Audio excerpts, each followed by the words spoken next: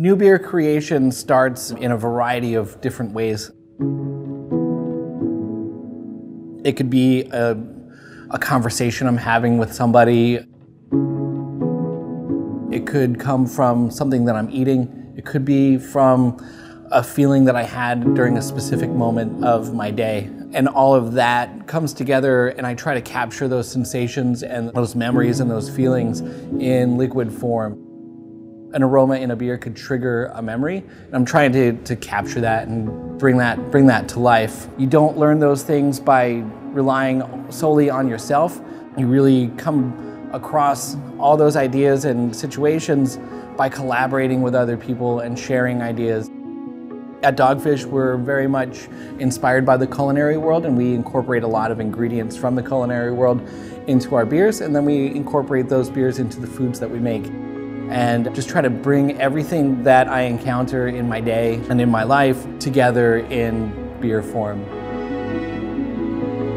When people come in to, uh, to get a beer and a meal, I want them to have a sense of wonder.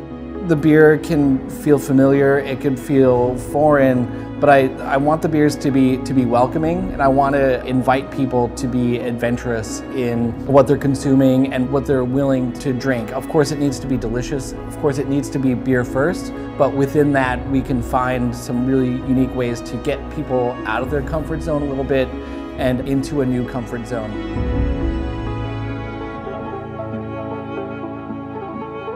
One of the guiding forces in Dogfish Head is off-centered ales for off-centered people.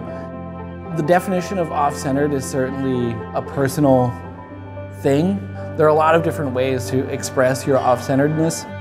We kind of guide ourselves through our day by the notion that we are thoughtfully adventurous. And so it's important for us to push the barriers of what typically goes into beer, however, making it thoughtful and having a meaningful story behind it and having a, good concrete reason to bring traditionally non-beer things and ingredients and bring them into the world of beer. That's how we built our reputation and it's something that we need to work hard at maintaining to ensure that that's at the core of our story.